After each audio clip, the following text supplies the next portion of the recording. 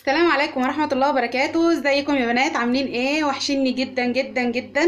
آه النهاردة بقى هنعمل مع بعض آه فيديو تنشيطي كده وتشجيعي ليكم آه هنعمل فيه إيه النهاردة؟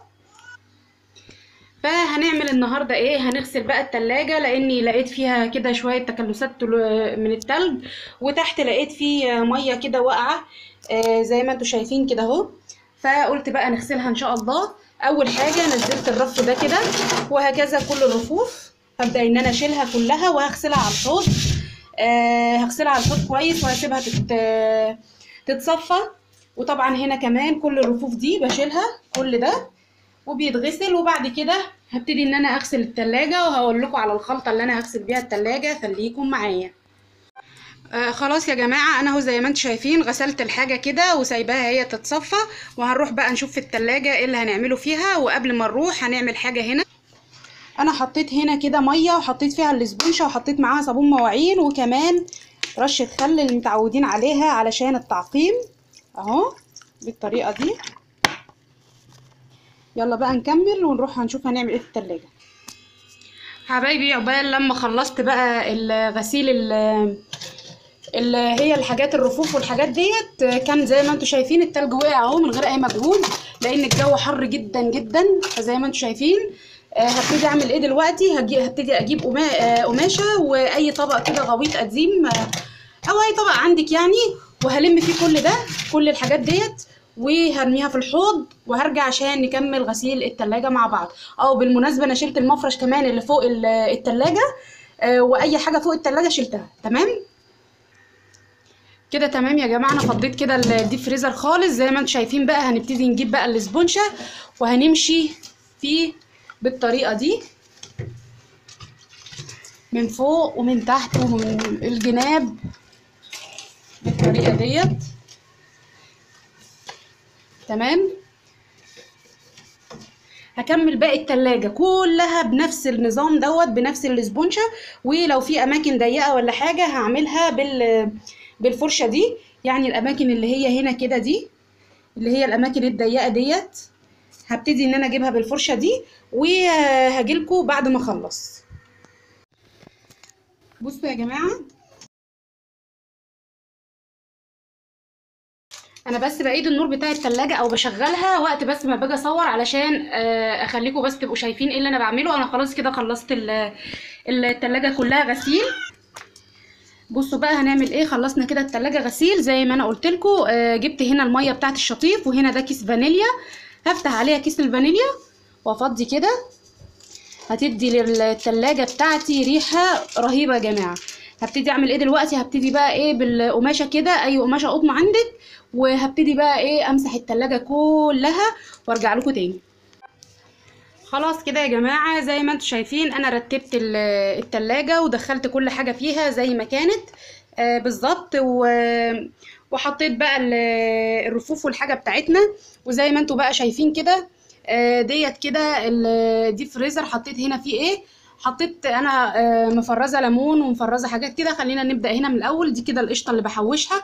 وهنا ده الكاتشب اللي عملناه مع بعض قبل كده. وهنا كده جوه ال- السبت دوت أو الطبق ده بحط فيه كده آه، يعني أي حاجة عايزة أفرزها. ليمون آه، ده كده البنجر يعني حاجات كده مشكلة يعني.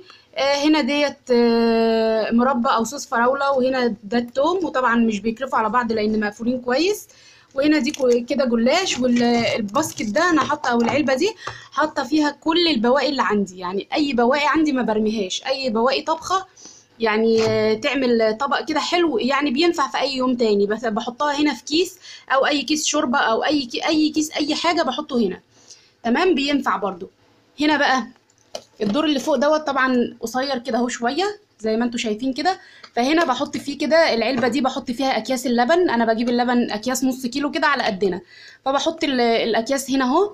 هنا ده كده العيش اللي بيتفضل مننا. طبعا أنتوا عارفين إن إحنا بناكل عيش بيتي. فالعيش اللي بيتفضل طبعا حرام يترمي لأنه غالي. فبشيله هنا كده وقت ما بنكون هنعمل فتة أو أي حاجة بروح مطلعة منه ومحمصاه. وهو كده كده بيبقى ناشف. هنا كده ديت كده الجبنة الرومي والموتزاريلا. وراهم الفلفل اللي أنا مخزناه لأن في آه، مش مخزناه الفلفل اللي بيفيد عندي آه، طبعا بيبقى حرام يترمي وبيبقى كده على الآخر بيبقى فاضل كام واحد كده خلاص قربوا يبوظوا. فأنا بدل ما يبوظوا بروح حطاهم هنا أول استخدام بقى بعد كده بروح فرماهم في الكبة وبعد كده أبدأ أستخدم في الجديد. تمام؟ ننزل هنا هو بقى.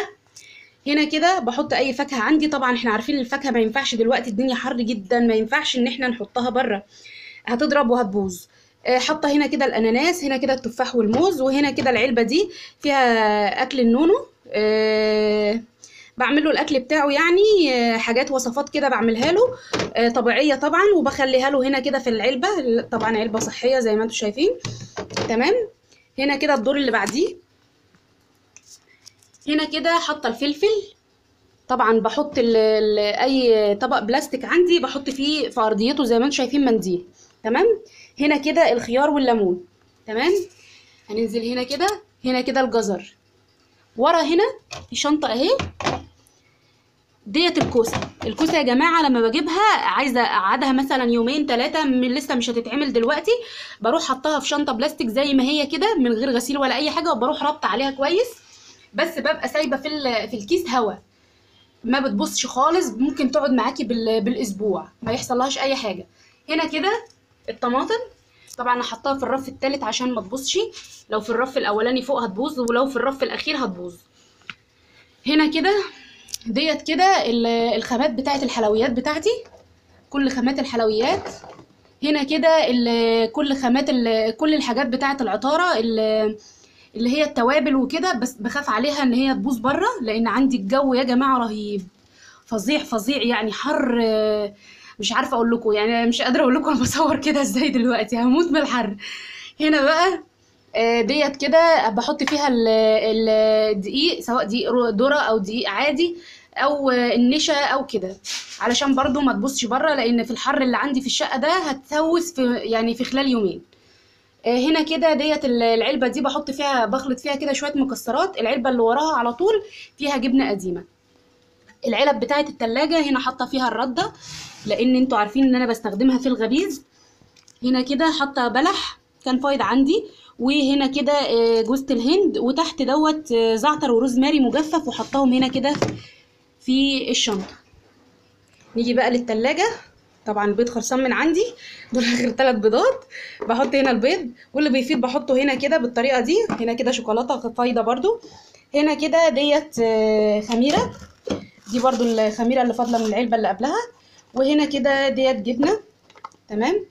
هنا بقى ديت المايونيز المستردة وهنا ده كده عسل أسود. ورا هنا كده ده كيس كده طحينة تقريبا. وهنا كده الزبادي. دي مش عارفة إيه اللي جابها هنا يعني. وهنا دوت ربنا يعافينا ويعافيكوا. ده البيفاتراسين دوت طبعا مضاد حيوي لل للحروق والجروح وحاجات كده يعني. ديت النوتيلا طبعا اللي إحنا عملناها مع بعض.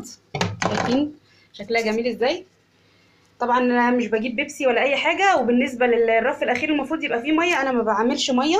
أنا بحط أكياس آه، مليانة مية بحطها في الفريزر تعمل تلج وبعدين بطلعها على الكولمن أنا في خلال الصيف بطلع الكولمن المية بتحتفظ فيه بالبرودة أحسن آه، كتير قوي من آه، يعني من الأزايز وكده.